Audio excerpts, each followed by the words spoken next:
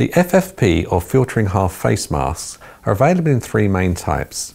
Masks such as the FFP1, 2 and 3 types are mainly used for industries for the protection against airborne particles. They should be CE marked to show that the design has been tested to a recognised standard. They must also be marked with that standard, which for disposable respirators is EN 149 2001. Additional markings such as FFP1, FFP2 or FFP3 indicate the protection level available if the respirator is a good fit and you use it correctly. The higher the number, the better the protection. FFP1, 2 and 3 respirators can reduce the amount of dust you breathe in by factors of 4, 10 and 20 respectively.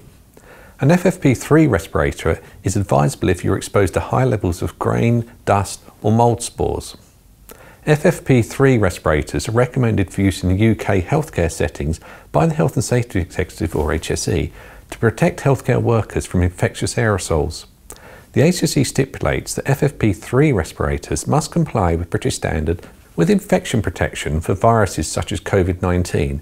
The FFP3 will give the best level of protection, although there are of course no guarantees that they will protect you. You should carry out a pre-use check every time you put on the respirator. Always check that it is fitted according to the manufacturer's instructions, so ensure that the straps and strip for moulding the respirator around your nose are correctly adjusted. To test its effectiveness, hold the mask in place and breathe either in or out sharply.